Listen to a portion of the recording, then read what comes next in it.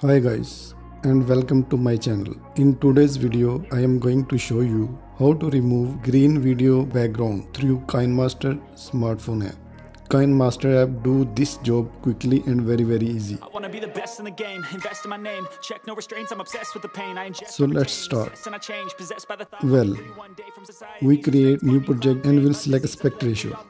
I am going with 16 into 9 and click next. Now from image assets we have to select an image as a background and I select first one. and we have to keep this image at 00 timeline. Now i have to go into layer tab and select media. Now we have to import a green screen video so i select this one. Here we have to keep same duration. Now select the green screen video and scale up to cover the frame find chroma key effect. So here it is. Select chroma key. We have to remove this green background by enabling chroma key so click here. Look green background is gone. For more finishing you can play with these settings.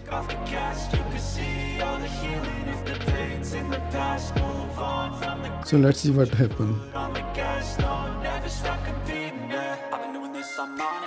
I just wanna be iconic. Sipping on a gin and tonic. due to black background blast is not showing well result we have to change or replace from black image to any other background so i select this one and let's see now how it is looking Drain my energy, the enemy is everything. It's mentally, unhealthily, spreading like a rare disease. But I won't we have to go back in chroma setting panel and change some settings again legacy of leading by intensity. Come on, we can fight this. so done and go back and see what happened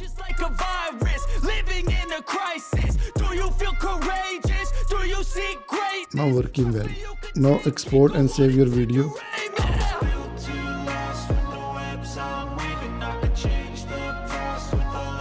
Now playing your video. Very nice.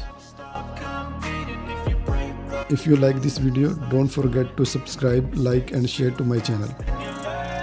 For any help please comments. Thank you all